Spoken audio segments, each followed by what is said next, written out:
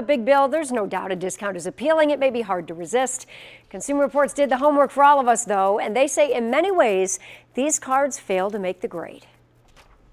This time of year finds Betsy Helmuth shopping. With a son in grade school and a daughter entering kindergarten, her list is long and pricey. Per kid, I would say it's 130 to 200. So when a salesperson asks if she wants to save 20% by opening up a store credit card, she thinks about it. It's very tempting when you're at the register and you are going to be spending a lot of money that you already feel a little bit uncomfortable about, and they tell you that there's a chance to get a deep discount. However, Nikhil Hutheesing of Consumer Reports says store credit cards rarely rise to the head of the class. For one thing, the interest rate is often much higher, on average about 24%, well above the national average for credit cards in general, which is about 15%.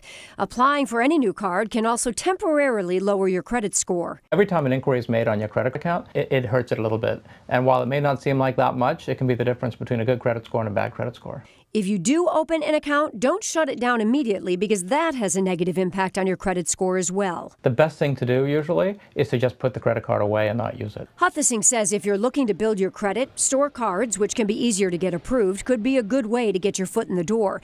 And if you shop at the store often, having the card could unlock special discounts or earn points for you.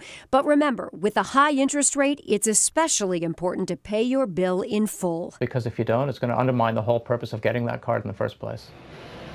And word to the wise here, make sure you always pay that store credit card on time. If you only use it, say, once or twice a year, it can actually be very easy to forget the due date on that. We say that all the time, right? Pay them off in full. Otherwise, you're hit with those interest rates that are higher and than it's other not cards. worth it, right?